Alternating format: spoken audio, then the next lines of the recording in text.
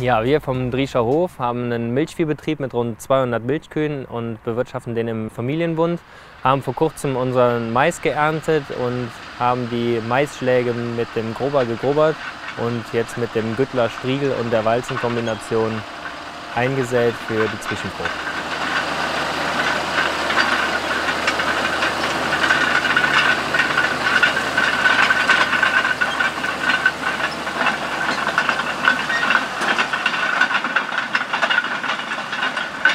Vor rund drei Jahren haben wir uns für die Kombination von Güttler entschieden, weil wir unser Dauergrünland stetig pflegen, nachsäen und belüften wollten. Und die Kombination mit der Güttlerwalze zum Andrücken hat uns davon überzeugt. Und auch im Acker ist sie sehr gut einzusetzen. Wir machen damit Neueinsaaten oder säen wie in dem Fall die Zwischenfrucht damit aus.